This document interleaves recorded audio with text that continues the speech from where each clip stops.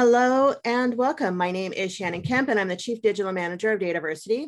We'd like to thank you for joining this Dataversity webinar, How to Accelerate BI Responsiveness with Data Lineage, sponsored today by Octopai. Just a couple of points to get us started. Due to the large number of people that attend these sessions, you will be muted during the webinar. For questions, we will be collecting them via the Q&A in the bottom middle of your screen, or if you like to tweet, we encourage you to share highlights of questions via Twitter using hashtag Dataversity. And if you'd like to chat with us or with each other, we certainly encourage you to do so. And again, to access and open the Q&A or the chat panel, you will find those icons in the bottom middle of your screen for those features. And as always, we will send a follow-up email within two business days containing links to the slides, the recording of this session, and any additional information requested throughout the webinar. Now let me, me introduce to you our speakers for today, David Loshin and David Bitton. David Loshin is president and knowledge of knowledge integrity, is global rec globally recognized as an expert in business intelligence, data quality, and master data management, frequently contributing to Intelligent Enterprise DM Review and the Data Administration newsletter, tdan.com. David Bitton has extensive product knowledge coupled with creative ideas for product application and a solid history of global sales and marketing management of software as a service and internet driven products. And with that, I will give the floor to David Loshin to start today's webinar. Hello and welcome. Thanks, Shannon, and uh, thanks to uh, to Dataversity and to Octopai for uh, for inviting me to uh, speak on this topic. Uh, it's a topic that I've been familiar with for a long time. Although uh, what we will see as I walk through some of the slides is that is that the perceptions of the of the value and the utility of data lineage have truly accelerated over the last couple of years, and that's contributing to to great uh, value that can be provided to to accelerating BI responsiveness. So to to actually to start off, I, I think it's actually really good to begin uh, a talk about business intelligence response responsiveness by reflecting on on a historical perspective about the use of information for decision making and and and uh, an interesting kind of side note. recently, I've been doing a lot of reading about uh, about information value and decision making, and and going back over over decades of of articles and research papers and and magazine articles, et cetera, about information value, and many of them, uh, if not almost all of them, reflect what I what I've got here. This quote from uh, from this article called "The Value of Information" that was written in 1968. Uh, that says, ideally, information is the sum total of data needed for decision making. Uh, and when I read through a lot of these these papers, there's some common themes that appear uh, o- uh, over that five decade plus span about data usability within and across the enterprise for the purposes of making good decisions. And these are namely what I show on this on the right side of this slide: information awareness, or knowing what data sets exist and could be of value for decision making and and uh, uh, and business intelligence, information availability uh, which is basically the knowledge about whether the data sets that that uh, are, are available for use and under what circumstances or restrictions uh, are, are, in place for using that information, information trust, or the degree to which that data in those data assets are trustworthy, uh, accessibility, or how that information is made actually made available, how I can get access to that. Uh, information currency and information freshness are both looking at at the the uh, uh, uh, how frequently data is refreshed and whether it's kept up to date. And then the uh, the last item there is information format, or whether the data is in a format that can be easily used. And I think that anybody who's worked on on any kind of of data warehouse, data mart, uh, data visualization, reporting, analytics, any of those those types of of applications is intimately familiar with some of the the, the issues that arise from from any one of these items. Uh, but organizations that have traditionally used a data warehouse have attempted to finesse these issues by creating a set of well defined data extraction and data preparation pipelines. But as we will see, this tightly structured, uh, the traditional data warehouse architecture uh, is, is is gradually disintegrating, and I think what what what we'll discuss is is how the uh, the the traditional or conventional approach to to to populating data into a data warehouse is is beginning to be uh, uh, uh, no longer the uh, the status quo. So if you look at this picture in a conventional data warehouse, uh, there's going to be well-defined data processing pipelines, and data is is is being extracted from from existing operational or transaction processing systems that are typically known sources that are well within the corporate data center. Uh, the data is extracted usually in managed batches. Those data sets that are extracted are, are then typically moved to some kind of staging area, sometimes to an operational data store where that data is then processed, it's it's standardized, it's cleansed, it's transformed, it's reorganized, it's then prepared for loading, typically in a in all in batch uh, into this target data warehouse. So it's forwarded to the data warehouse. That data warehouse is a single resource that's then shared by the different d- downstream consumers.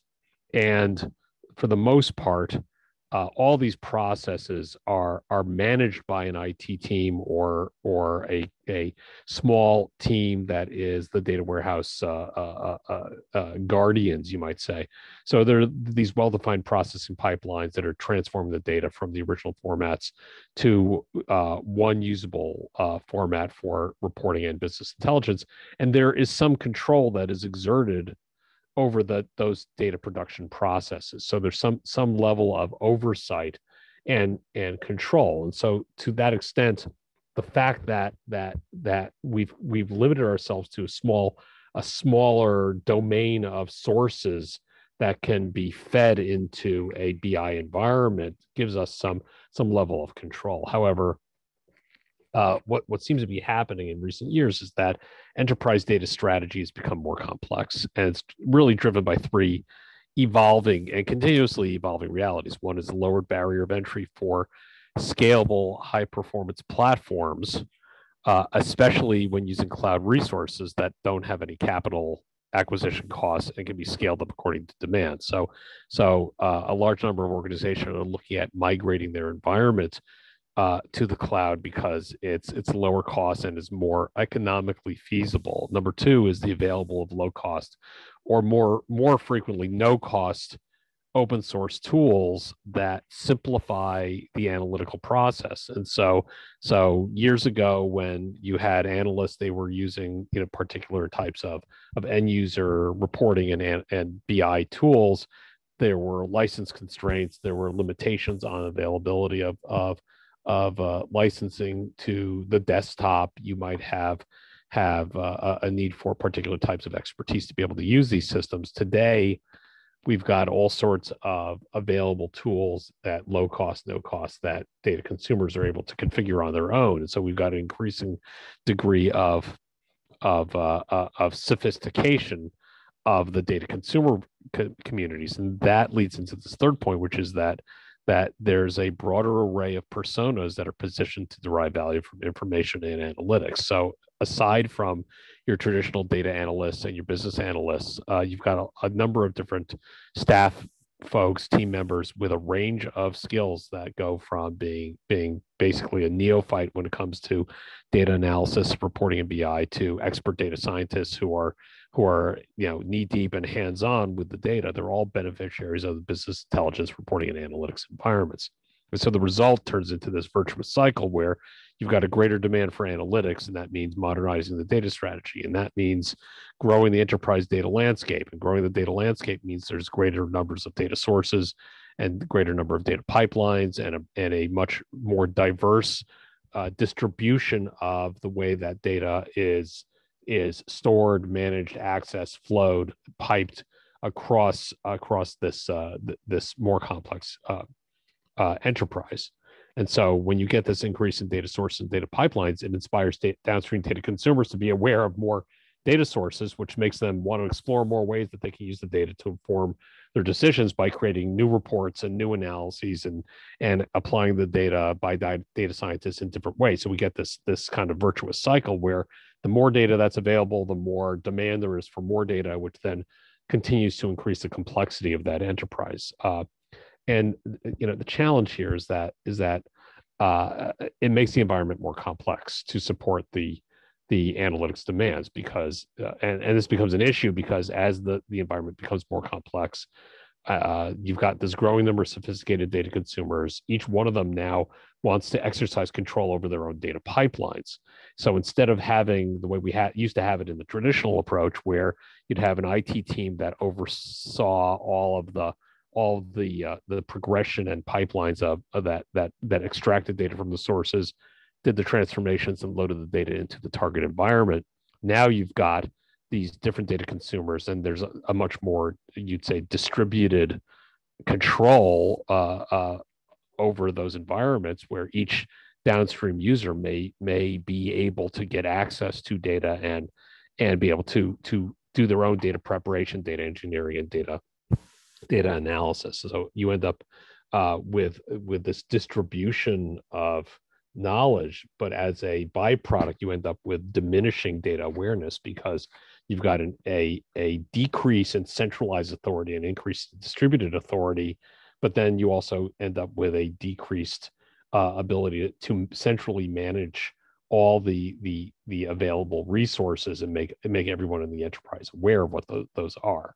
And this is not this is not an academic question. This is actually becomes a complicated problem, right? We started out by noting that we've known for decades that business decisions are enabled through reporting and, and analytics and business intelligence, and that relies on data awareness and data availability and data accessibility and trustworthiness and freshness and currency, et cetera.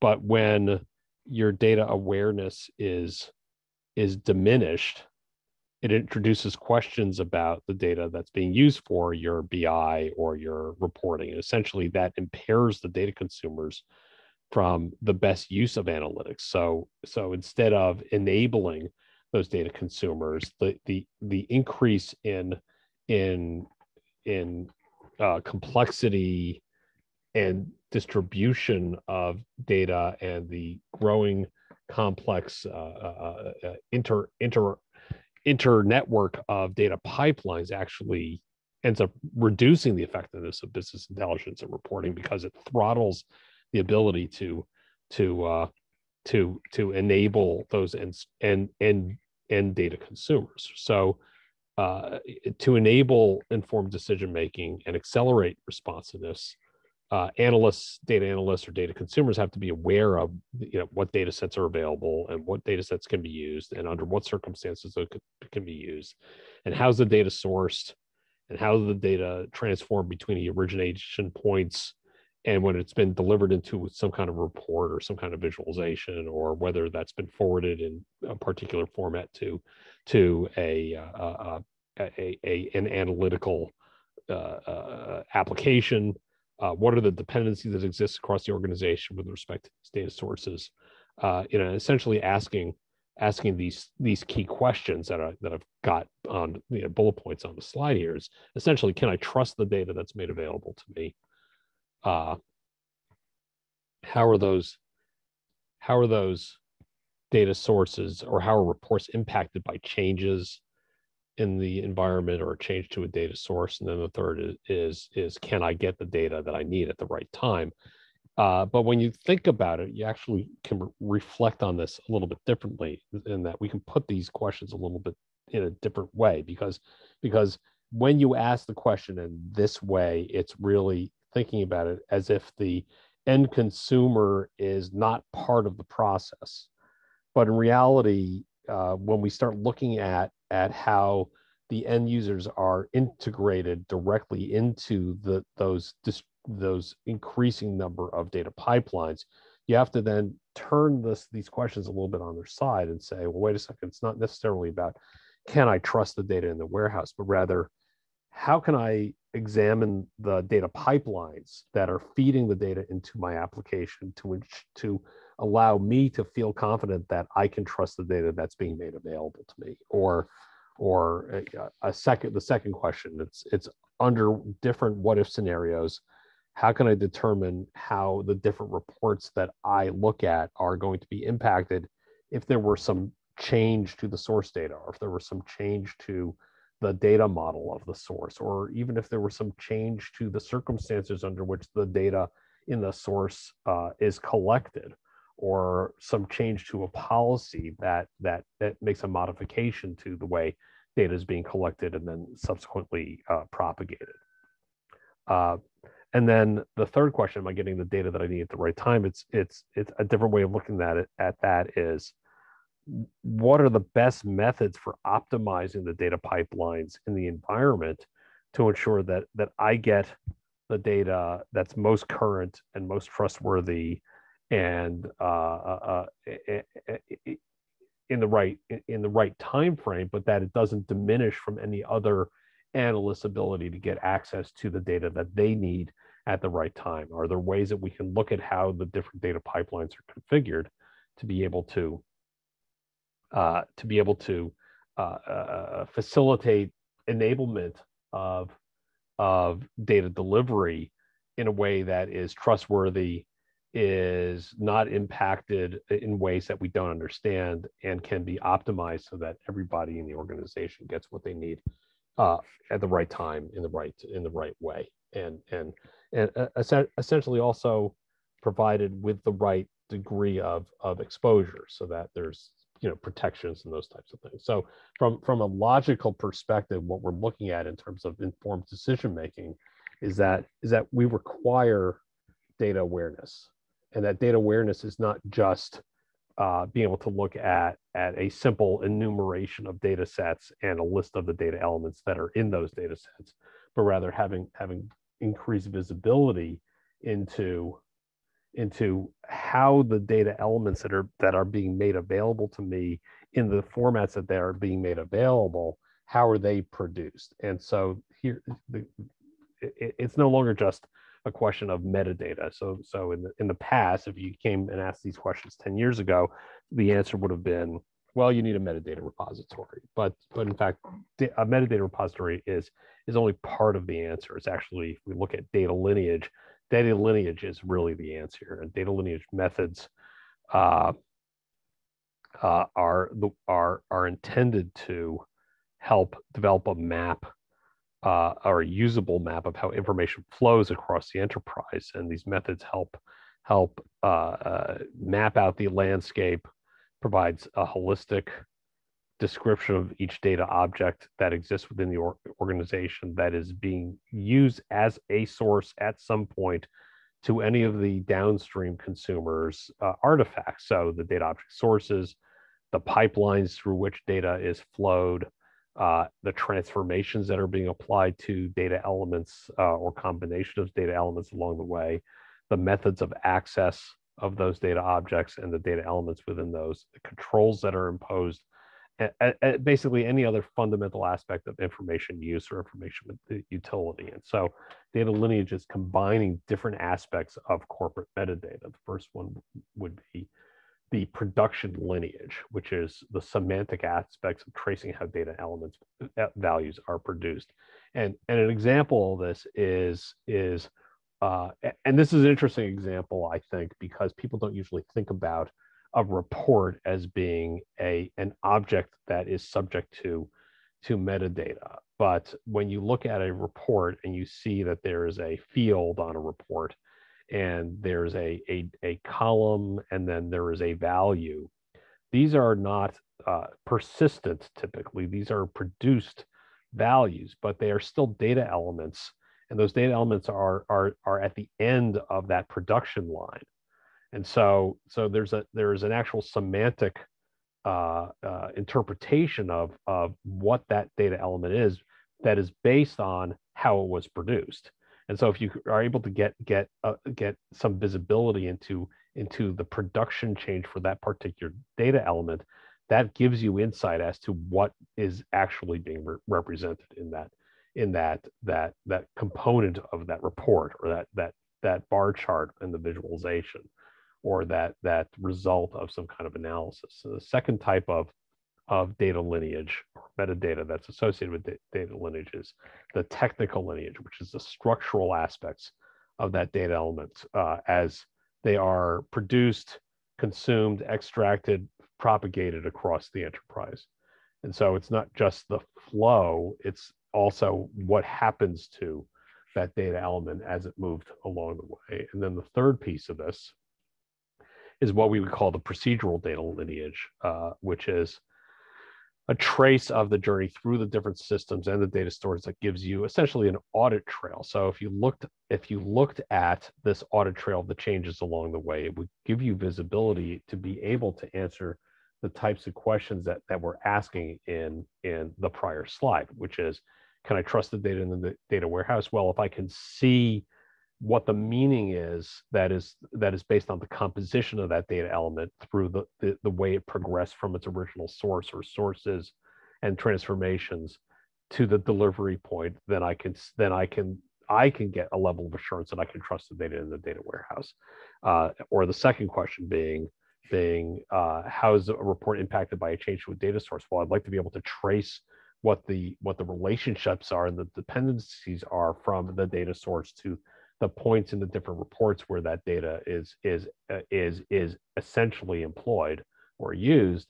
And then am i getting the data that i need the right time? If i've got if i've got this visibility into the procedural lineage and I can look at whether there's there are any any inadvertent delays introduced into the way that those those data values are being produced that will let me know whether there's there's any potential for the introduction of a delay that could impact data freshness or data currency uh, uh, within that process and so lineage actually gives you visibility in multiple ways uh, and yet needs to be addressed in, across multiple dimensions. And we're going to look at, at some perspectives on how data lineage has changed over time. And it's kind of interesting, you know, I reflect back on some of the work that I'd done uh, 20 years ago with respect to data quality that, that looked at being able to trace lineage of the process flow of the production of data that went into an end user uh, report and end user uh, analysis. The, the, the issue though was 20 years ago, if you wanted to have data lineage, it had to be manual. You had to manually walk through your processes and document the metadata and document the dependencies and and and manually manage that. Uh, what was uh, uh, emergent re- relatively recently in what I would call the second generation data lineage tools was simple automation for being able to do things like creating a data inventory or harvesting metadata and then inferring some system to system dependencies, which really tells you at a very global level which systems touched which data elements in which in which data sets. So you can tell that that a system read a value or wrote a value, and even be able to give some kind of visual representation and and a bridge or an interface to a data catalog.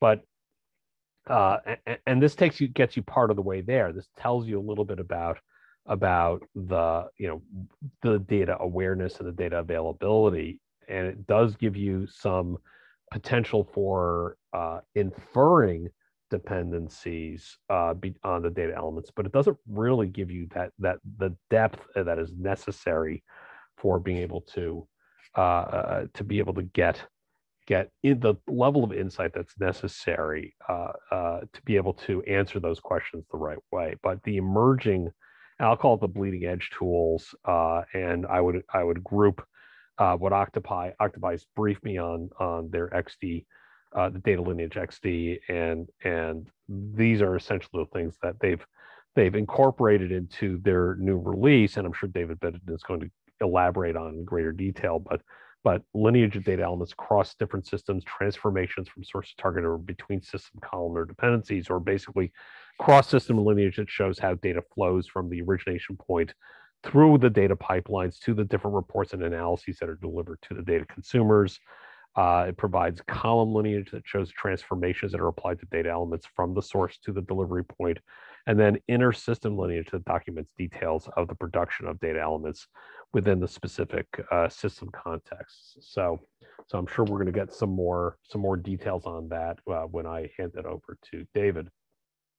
Uh, but to kind of uh, cycle back, you know, we talked a little bit before about the level of data architecture complexity and how how uh, there's a need for automation. If we're trying to do this in a manual way, it's it's essentially it's it's it is it is undoable manually. Organizations are continuing to expand their data landscape across on-prem and cloud platforms. The complexity of this of these these data strategies means that manual oversight and manual management of data lineage is going to be difficult, if not impossible. And so organizations are going to need tools that automatically infer and capture and manage and provide a visual presentation that that is intuitive to the data consumers that provides details into this multi-dimensional data lineage and and the implications are here is that the manual capture is difficult it's time consuming and worse, worse, it's error prone.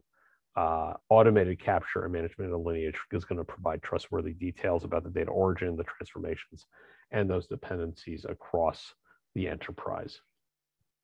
Uh, and so, you know, we'll come back to the to the theme of today's talk. Data lineage accelerates BI responsiveness because it informs these processes and requirements, things for like integrated auditing for regulatory compliance, or impact analysis to assess how code or model modifications impact data pipelines, uh, or uh, replication of data pipeline segments for for for optimization or root cause analysis, and uh, access to these different dimensions allows data consumers to know what report data elements are available and how are they produced and what dependencies exist on the original sources and what transformations were applied. And we can look at an example use case uh, and and this is uh, this is timely and relevant. You know we've got these data privacy laws that are intended to prevent against exposure of sensitive data and that's typically engineered into a bunch of different applications. Uh, but you know here's the issue. If you look at some of these some of these laws the laws are changed over time where the you know perhaps the definition of private data is included or is expanded to include a data element that previously had not been included. So so if you've got this this constraint where where you've got you know multiple systems that are depending on on on analyzing data and all of a sudden the law changes that says some data element in the source is no longer available unless you have a particular right to view that data how would i know where in the environment i need to make a change uh, uh, the answer you know what processes are impacted what reports are impacted, what systems or what code needs to be reviewed and updated. And data lineage provides this visibility for doing impact analysis. The cross system lineage allows you to identify which systems are impacted by a modification to that externally defined policy. Uh, it'll tell you uh, when you modify the use or the rules associated with a particular source data element, what systems are touching that data element and how are they touching it so you can determine, you know, if you look at the column lineage, it'll show you what the dependencies need to be reviewed. And the inner system lineage will expose where there's internal data dependencies that might inadvertently expose that that data that is now uh, has been modified to uh, to be incorporated into that definition of private data. So this is just just an example of of a use case, and and there's multiple use cases about how data lineage can be used in different ways. So, uh, what do we want to look for when we're looking for a data lineage solution? Well, well, you have to look at this from the the practical perspective. Again, data lineage is a tool. It's used in different ways by different processes. I gave you, you know, one example. Uh, there's a bunch of other examples for the data analyst. A data lineage is going to provide insight into semantics and meanings of data elements that are available for developing a report or, or producing some kind of analysis for a data engineer data lineage gives you details about the pipelines and cross-system dependencies uh, a bi developer might rely on lineage to track down issues that are affecting the development of a of, of an artifact a data scientist might want to examine different methods that other data scientists use to prepare data for, for their analyses to see if there's any opportunities for, for replication that would speed up the, the result an application system developer might want to see how changes to policies or models need to be addressed across the enterprise.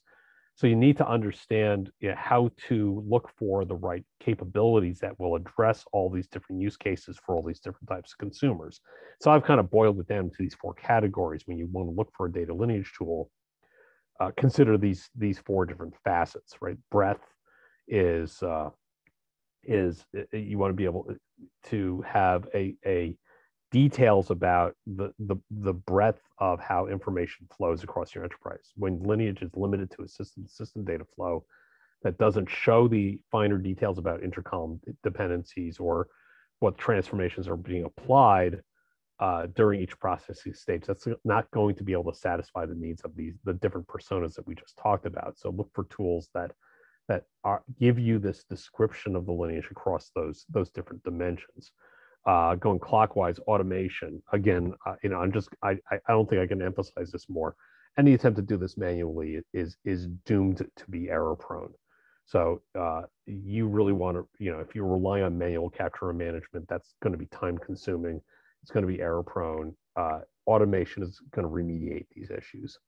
Uh, the third is visualization. You've got to have an intuitive method for providing the right level of detail in a visualization to each type of, of persona, especially as your your the number of data pipelines increases and the complexity of those pipelines grow. I mean, if you recall, if we look at at the the e, e, e, continually evolving complexity of of our data landscapes, uh, you you'll see that that that relying on something that is that is not giving you the right level of detail is uh, depending on who your who the consumer is is going to is going to to impact their ability to make good decisions about how to to address their particular use cases.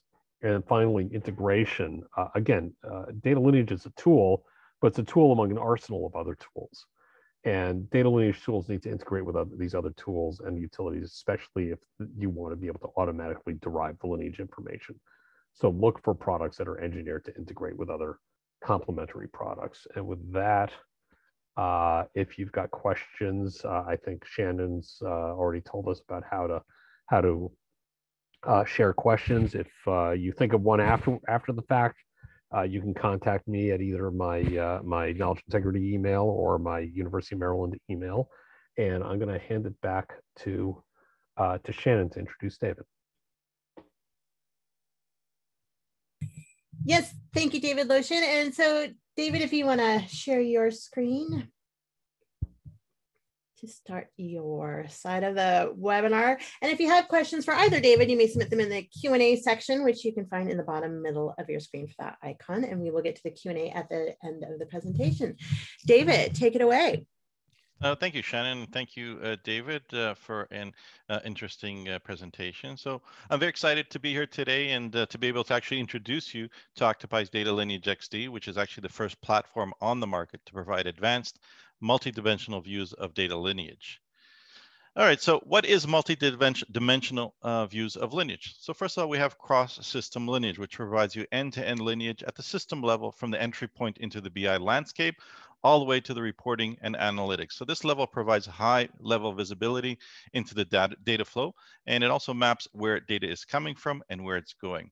Secondly, we have inner system lineage, which details the column level within an ETL process, for example, a report, a database object, and so on.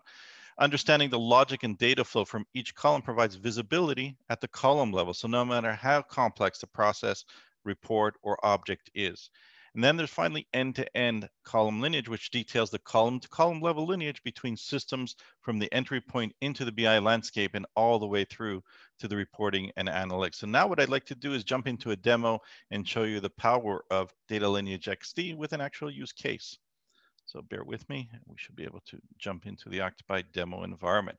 All right, so what I'd like to do is, uh, again, like show you this in uh, a use case. Imagine now that you have uh, a support ticket that was issued by a business user. Could be the uh, the CFO, Mr. or Mrs. CFO, and might, let's say it's uh, the end of a uh, quarter and the report that they're basing their business, their quarterly results on, there's something wrong with it, which is of course a common scenario that I'm sure many of you are familiar with. So in order to try to figure out what went wrong with that report, you're going to need to understand how the data landed on. In order to do that, it's going to require reverse engineering. And of course, that's going to be done in most organizations today that are not using Octopai. It will be done with a lot of manual work, which is going to be very time consuming. And as David mentioned, inefficient. And it will also introduce some uh, other production issues as well. Now, this would not be the case with Octopai. Let's go ahead and see how Octopai would address that challenge. So Octopai will search through all of your various systems in order to gather the metadata uh, that we need. Now, what we see here on uh, our dashboard is uh, actually the Octopai uh, dashboard. On the left-hand side, we see here a sampling in our demo environment of some different ETLs from uh, SSIS and also from uh, SQL Server as stored procedures.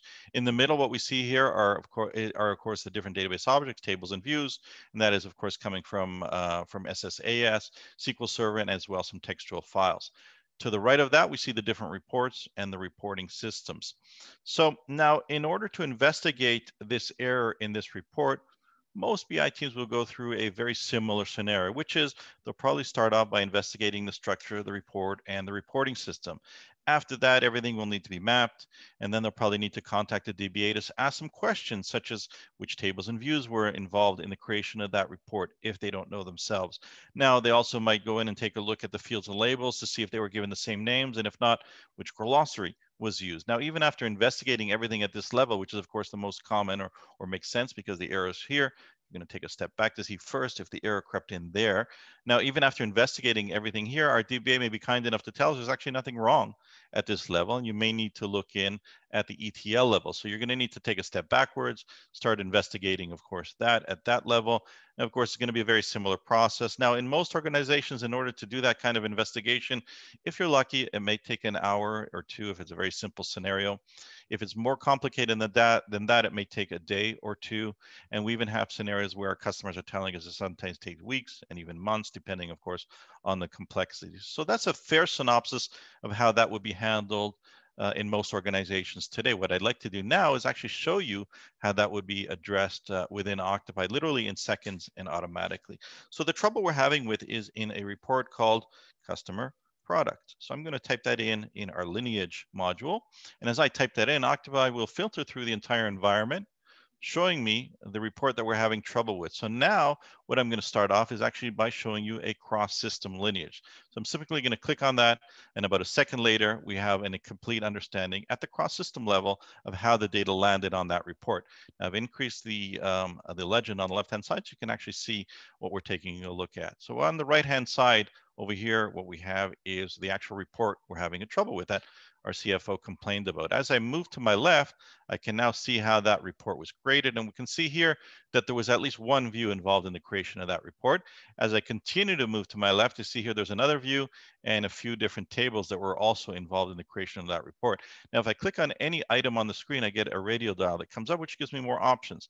Now, just for, uh, for uh, I guess, for argument's sake, or just to give you another example of how we can help, is if you needed to make a change to this table and wanted to know what the impact would be, Imagine what you would have to do today in order to get that information. With Octopai, simply clicking on uh, the button there, we now see the dependent objects, of course, at a high level, what would be impacted should we make changes to that one table. And of course, that would be the same to any object on the screen. So as we continue to move left, we here finally, we find the ETL that was involved in the creation of that report. In this demo environment, there's one ETL and many organizations that we're dealing with are actually using multiple different systems to manage and move their data. And if that's the case in your organization, it's not a challenge for Octopai. We can still show you the path that the data has taken in order to get or land on that report. Now, as we pushed our customer further in this scenario, we actually asked them what went wrong with this report, and they admitted that a few weeks earlier, before they had started using Octopai, they had made changes to this one ETL over here. And most likely that's why they're uh, facing production issues today. So we asked them, of course, if they knew that whenever they make a change, there would be impacts, why not look into, you know, be proactive, look into the impact that those changes would would have on the on the on the environment on the system, uh, on the on the uh, on the data pipeline. And of course, uh, make the corrections and save all of the production issues, the data quality issues that arrive, and the resulting um, um, confidence in the data and so on. And of course, as David said, it's it's basically undoable in most organizations because there's just too much to look into. There could be hundreds, if not thousands, or even tens of thousands of different objects that could be affected, different ETLs, tables, views, and reports, and so on that could be affected by any one change to any one object on the, uh, in the environment, such as a table view or, or an ETL. So of course, since organizations are forced to be reactive, they, that's because the only way that uh, they, they can work. They, of course, they will try to make changes without making any production issues using the capabilities at hand, such as, you know, the knowledge of the people on the team, if they're all still there and they haven't left the organization, maybe some spreadsheets, hopefully they're kept up to date. If not, you know, they'll deal with it. And then of course, all using all of that, they'll make those changes, maybe holding their fingers crossed and, and a little bit of a prayer. And then eight or nine times out of 10, there will probably be no production issues. And then the one or two times out of 10 that there are production issues, because they're forced to react, they will have to actually react to those issues. And the problem with that is you're only reacting to what you know of. What you don't know of, of course, continues to snowball and create all kinds of havoc throughout the environment. Now, of course, with Octopai, we can change that. We can turn that on its head.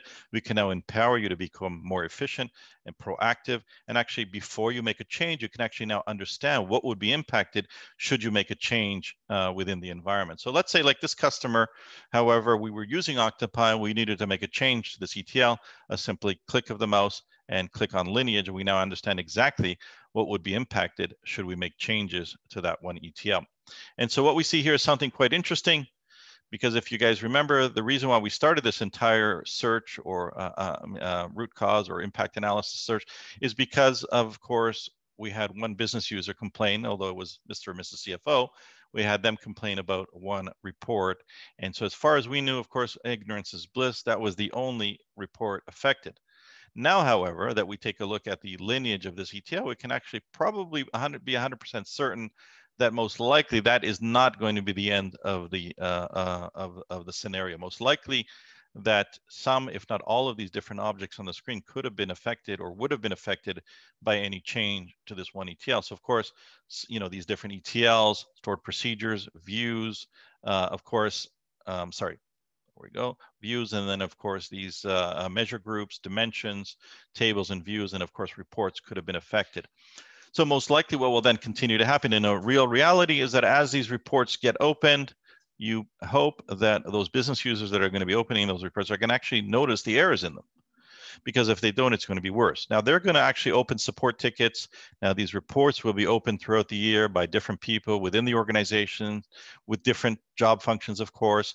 And of course, since they're open throughout the year by different people at different times and those support tickets are open uh, at different times throughout the year, there's just no way humanly possible that those who are responsible for trying to fix those errors could know that there is one root cause. So what will happen is, as we said earlier, they're going to start to reverse engineer those reports, which could take anywhere from hours, days, or even longer. And you can probably know better than I how much time and effort is wasted through uh, throughout the year trying to reverse engineering those reports, because of course it's not going to be uh, limited to uh, six or eight or 10, it's probably going to be hundreds. Now, of course, I said wasted because if they had known, the BI team or those responsible for correcting had known from the get-go that this ETL was the root cause, and they wouldn't have had to reverse engineer all of those reports to try to get to that root cause. Now, I left these two here on the side, then that is to prove a point, and that is if you're working rea reactively, manually, most likely uh, you will get to most of the errors in most of uh, the reports or in the system, but not all. And so some of these reports will fall through the cracks. They will continue to be used by the organization. And then, of course, the organization will make business decisions based on those reports, which is going to be, of course, the most impactful of the two.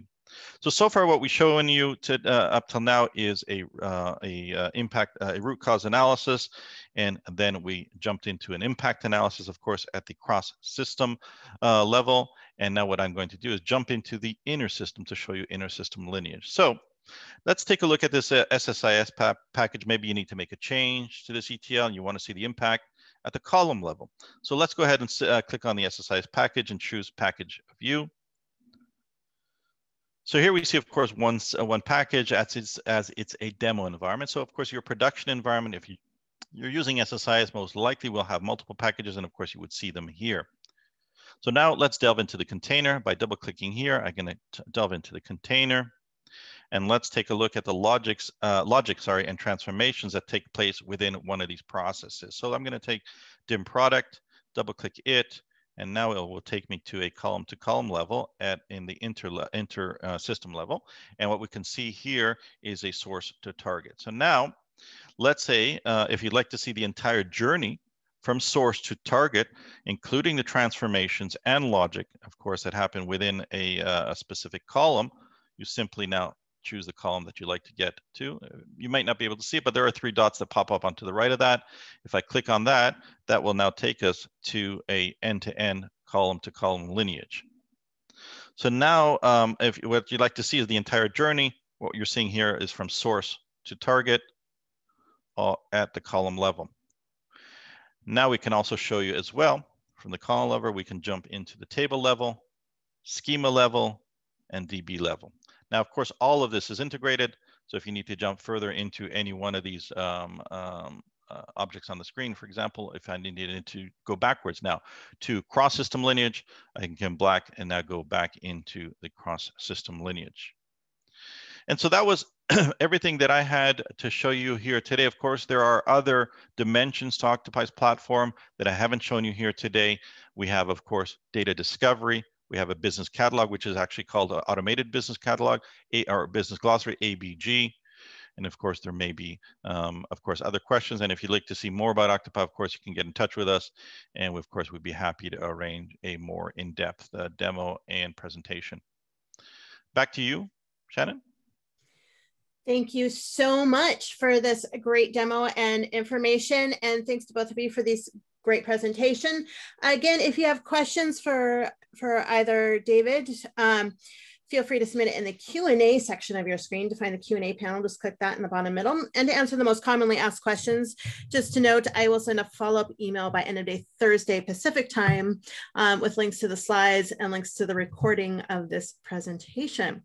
So, and if you see in the Q&A uh, section that somebody's already asked the question that you like, just hit that little thumbs up uh, button to escalate that uh, and to uh, dive in here. So, uh,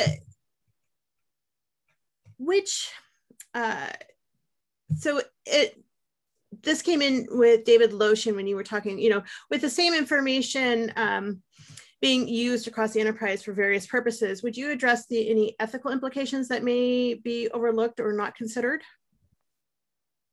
So I'm not really 100% sure I understand uh, what you mean by ethical considerations, although I do think that an example might be uh, the the determination that there is an a, a an unauthorized approach used to combine data from multiple uh, uh, uh, uh origination points that results in exposing information that probably should not be exposed. So that might be an example where I can make uh, I, I we can automate the inferencing of of characteristics associated with, say, a customer based on data that's being pulled from multiple sources in a way that it shouldn't be used. So that I would assume that would be a, good example of a use case uh, for for lineage because you're able to see how data sets are being blended and being fused for uh, uh, uh, for for for downstream use. But if if you want to go back to the to the Q and A and type in a clarification, maybe we can cycle back on that question. Sure.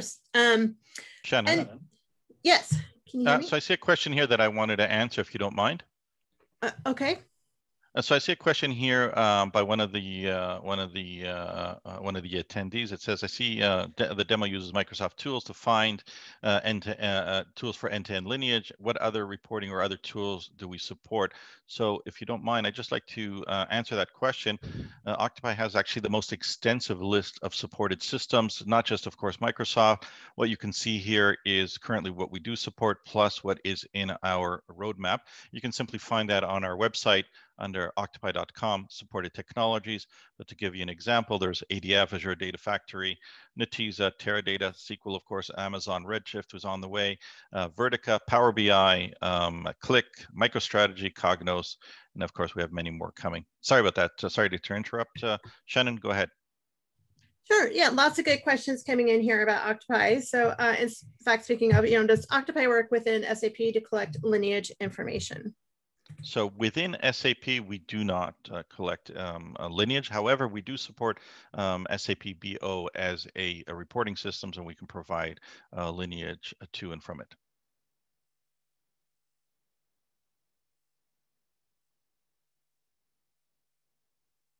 Hello?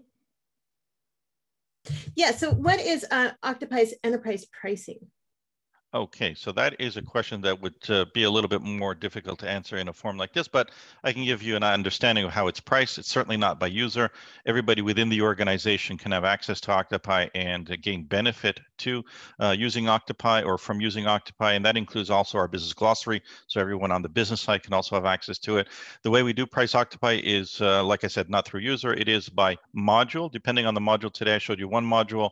There are other modules within Octopai and metadata source. Ballpark uh, is anywhere from around 3,000 to $10,000 per month total. All in, there are no uh, limitations basically on anything. It includes training, uh, upgrades, maintenance, and so on. That it is, of course, in a um, in a uh, annual license or an annual contract. And what was the uh, initial information created in Octopai? I'm sorry, repeat the question again. Yeah, what was the initial information created in your demo there? Okay, I'm not sure I understand the question. Maybe it's asking how did it how did it boot boot uh, bootstrap the uh, uh, the collection of information. That's how so, I'm inferring the. the yeah, yeah. Okay, I, I might have understood that as well. So how do we collect the uh, the data, uh, the metadata? So it's very simply done. Um, it uh, there is an Octopai thin client that we send to the client, the, cu the customer. The customer installs that once in their environment on any Windows system. They point that thin client to the various systems that we want to extract the metadata from. Of course, we provide with you with all the instructions on how to do that. That entire process on configuring the Octopai client to extract the metadata should take no more than one hour. It's done once. Once that's configured, you hit the run button. Octopai then goes ahead and extracts that metadata, saves, it in, in XML format. Those XML files are saved locally. You can, of course, inspect them to take a look at them to ensure that they meet your security standards before you then upload those to the cloud, where and then Octopai, uh, the Octopai services uh, is triggered. That's where all the magic happens. The uh, the algorithms, the machine learning, and the process power come to play to uh, analyze that metadata and then make it available to you in the form of lineage, discovery, and even a business glossary um, uh, to the business user via a web browser. Hopefully that answered the question. Yeah, I believe so. And because, uh, you know, there's a follow up to that, you know, how not only how is it initially, but uh, how does it keep up to date? Actually a great great point. That's something that i forgot to mention is that is uh, the entire process that i just mentioned can then be automated so that on a weekly basis uh, you upload a new metadata to the cloud. It's analyzed and given to you um, so that you can see on a monday morning for example you upload that on a friday monday morning you come back to work and you have a new version. And that works actually quite well with most organizations because development usually happens during the week then uploaded to the cloud uh, and uploaded to production. And so monday morning you have a new fresh version and while we're on that topic, you know, how do you handle lineage with uh, software as a service apps? Often we're leveraging extracts or APIs to access data from those apps. Uh, that's a good question. Well, I know that we don't support APIs, but I think I'm going to refer that uh, response to Amichai, my colleague, who is on the line. Amichai? Yeah, sure. So we have different uh, methods of extracting metadata from all different uh, types of sources. And if in any case, the specific type of source is not supported for automation, there's always an option to augment different types of uh, lineage for uh, anything you have that wouldn't be supported.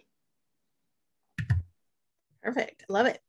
So how can a tool like this be oper operationalized to work in an enterprise system like an EMR? Um, Amichai, I think that's what's for you. Can you repeat that again? Sure. Yeah. So how can the tool, how can this, the, data lineage XD be operationalized to work in an enterprise system like an EMR? So um, again, all the tools that we uh, support um, with automation is what um, David uh, showed and is available on our website.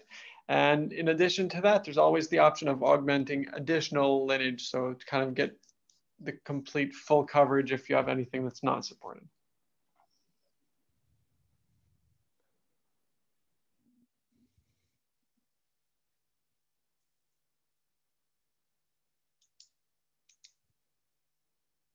So I think here um, someone may have misunderstood me. Akim uh, Perdun had asked a question, no API integration. Um, yes, we do have APIs that can be called upon. So if you need to export everything or anything within Octopai, you can uh, use those APIs to be called upon, and they can inject that metadata and the lineage into a third-party application. We also have a direct integration with uh, some other uh, industry uh, systems as well. Awesome. So it, it is clear that there is a need for a comprehensive data lineage tool to learn and understand the semantic structure and process. How do you integrate the tool to the ecosystem and other products and utilities? Um, okay, Amichai, once again, I'm going to get re refer that one to you.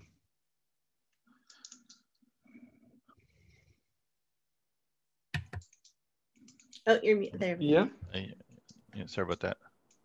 Yeah. So um, you know the way the way um, our tool integrates is basically the way um, David described before is that we actually connect to the different tools in the BI ecosystem. We pull metadata from those tools.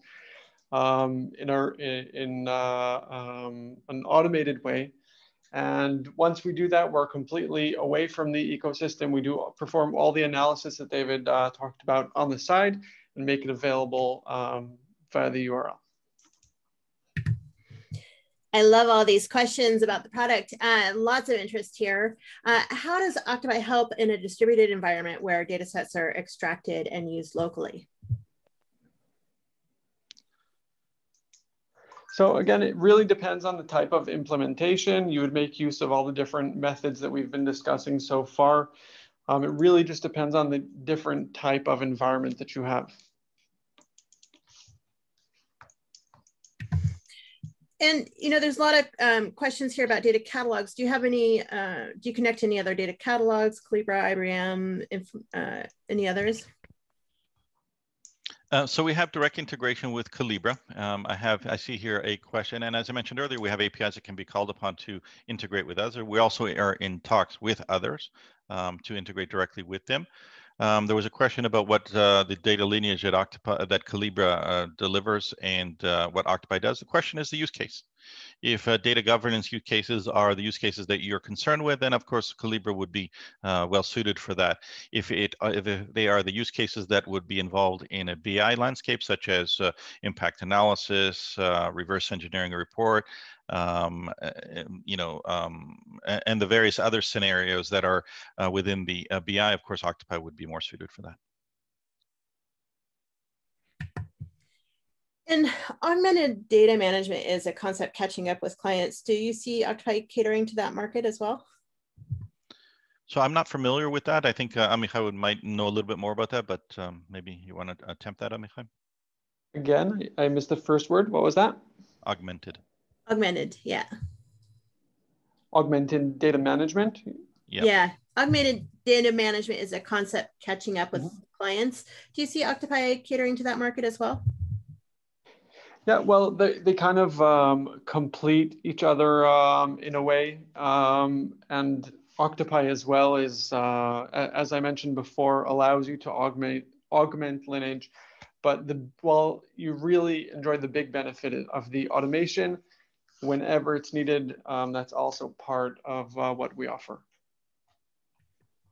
And there's a lot of questions here, you know, about what you, what other products you connect with and um, how you connect. Is there a link that we can get that I can send in the follow-up email that shows all the, be. Yeah, if you can see here on my uh, on my screen, uh, that yeah. is the link to the currently supported systems. If you'd like, I can uh, send that to you afterwards, or anybody can actually tell you. It's octopai.com slash supported dash technologies slash.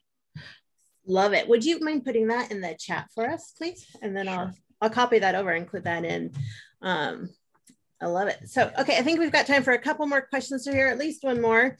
Um, is it is it possible to include metadata from other governance tools um, into lineage? For example, if ClusterSeven inventory of reports is described with lists of sources? Sorry, run that question where run that question by me again? Sure. Maybe yes. I think the core of it is, you know, is it possible to include metadata from other governance tools uh, into the lineage?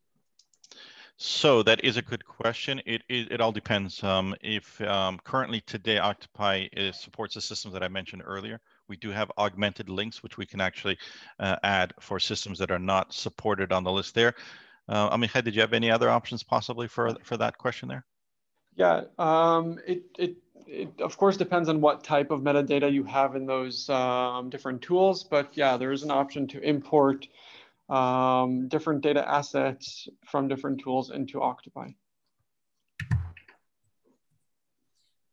All right.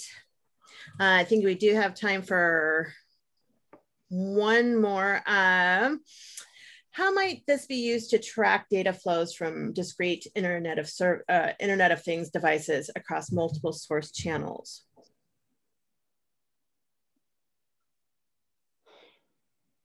Right. So the way um, the way Octopai uh, works is um, we basically connect to the different data uh, pipelines and different data uh, um, elements, the, uh, the, the where, data warehouse, the reporting tools, and all of those. And we will pick up the, the metadata from those, um, from those places directly. So that's um, that, that's the way we uh, we kind of harvest the metadata and build the entire lineage.